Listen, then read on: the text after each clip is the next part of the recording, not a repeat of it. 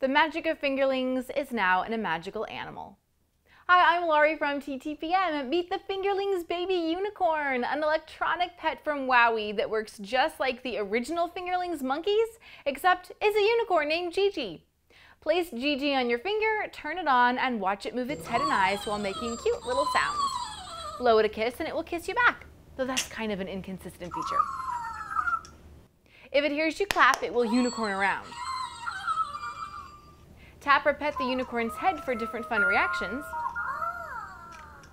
Or hang the unicorn upside down to explore Gigi's silly side. When it's nap time, cradle and rock the unicorn. And if you press and hold both its head sensors, you'll get a silly surprise. The unicorn comes with four button cell batteries.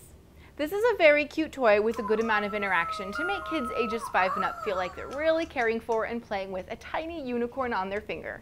The unicorn has a silly personality and kids will like discovering all the different reactions they can get from Gigi as they put her through her paces. For where to find current prices, visit TTPM and subscribe to our YouTube channels for more reviews every day.